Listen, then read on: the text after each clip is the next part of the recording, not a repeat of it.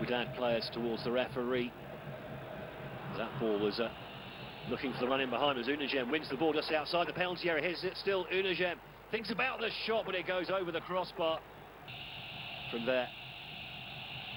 And now it's Mamelodi attacking at pace. With El Amloud outside in. Finds El Amloud. Huge gap for the right back to play into. Tries to get the cross in, but out to Morena. Running at pace again. Morena cuts the ball back inside, but attempting a new take. Oh, and the ball missed on the edge of the area. Space here opens up just for a moment. Over on the right-hand side. Mboul. The pass is popping around here, put across goal. It's straight into the hands of El Motie. Mokoena has a shot from distance, but bounces harmlessly. Swings it in, left-footed, flicked on at the near post, and a fantastic save from Ronwen Williams.